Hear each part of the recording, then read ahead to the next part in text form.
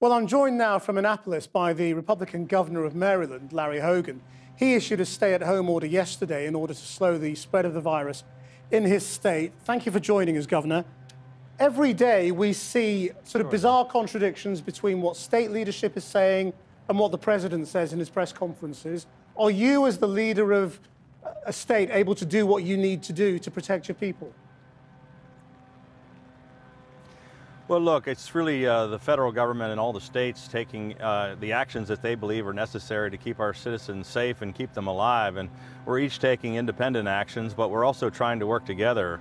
In addition to being the, the governor of the state of Maryland, which surrounds our nation's capital, here right here in the Washington area, I'm also the chairman of all the nation's governors. and We've been working together with the federal leaders, but quite frankly, uh, we, are in an extremely difficult uh, situation here in this global pandemic that is impacting you in the UK, and it's, it's now gripped the United States, not just in New York, but all 50 states in America, and uh, right here in the nation's capital region. Uh, in my state and uh, neighboring Washington, D.C. and Virginia yesterday had a stay-at-home order. 14.5 million people are now required to stay in their homes, and we're about two weeks behind New York, where you're just, just uh, seeing what you were just talking about. The same crisis is about to hit us here. You have a very different healthcare system to the one we have over here for people who don't have their own means.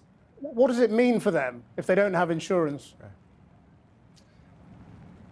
Well, we're trying to address the needs of every single person that's uh, hit by this, whether they have insurance or not. And the, the, issue right now is not so much whether people have means or whether they have insurance. It's about the capacity of our healthcare system and whether or not we have uh, a, enough uh, hospital bed capacity and intensive care units and respirators and emergency room and enough personnel. As you see what's happening in New York, it's not so much about uh, whether people have the, uh, the insurance or the funding. It's about whether we actually have the ability to take care of so many sick people at the same time that are just surging our hospitals. And what do you make of the leadership of Donald Trump through this?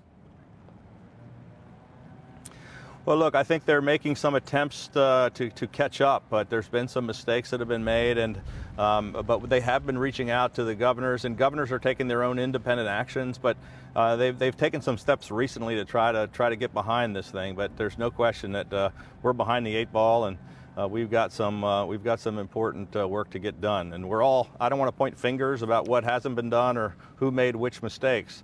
Uh, but we've got to work together somehow because we're all in this together, not just in America, but around the world. What we're looking at in Britain is the availability of testing, the availability of antibody testing, uh, how we're going to try getting yes. back to normal, uh, all those sorts of things. I mean, do you have the same shortages in the United States when it comes to things like ventilators?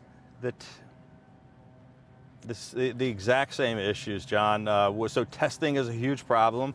Um, we don't have enough testing. We don't have enough masks or personal protective equipment or ventilators.